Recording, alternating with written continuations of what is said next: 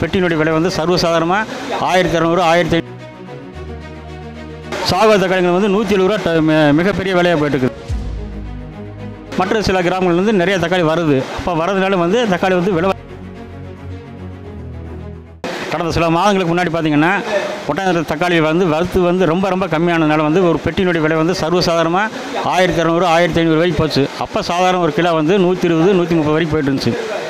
அதே தக்காளி இப்போ கிராமம் பூராமே எல்லா பக்கம் தக்காளி வர ஆரம்பிச்சிருச்சு. இப்போ பழனிலேருந்து தக்காளி வருது தொப்பம்பட்டியில் வருது வாகரையில் வருது பொருளூர் புளியம்பட்டியில் வருது.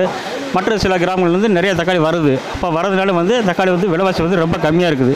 இப்போ நம்ம ஒட்டாந்தூருக்குள்ளே வரக்கூடிய தக்காளி வந்து எல்லா ஊருக்கும் போகுது. திருச்சி போகுது சென்னை போகுது திருவாரூர் சிவகங்கை ராமேஸ்வரம் ராம்நாடு மற்ற ஆகிய எல்லா ஊர்களுக்கு நம்ம சத்திரம் தக்காளி இப்போ வந்து தெளிவாக சப்ளை ஆகுது. சாதாரண விலை வந்து கிட்டத்தட்ட கேட்க போனீங்கன்னா சாகோ தக்காளிகள் வந்து நூற்றி எழுபது ரூபா மிகப்பெரிய விலையாக போயிட்டு இருக்குது அப்போ வந்து கிலோ வந்து ஒரு பத்துலேருந்து ஒரு பன்னெண்டு பதிமூணுக்குள்ளே தான் இப்போ வருது. இப்போ வந்து தக்காளி விலை வந்து அதிகமாக வர்றதுனால விலைவாசி வந்து ஒட்டாந்திர மார்க்கெட் வந்து ரொம்ப ரொம்ப கம்மியாக போயிட்டு இருக்குது செய்திகள் நூறு நாள்தோறும் காலை ஆறு பத்து மணிக்கு மற்றும் இரவு ஒன்பது மணிக்கு. நமது நியூஸ் தமிழ் தொலைக்காட்சியில் காண தவறாதீர்கள்.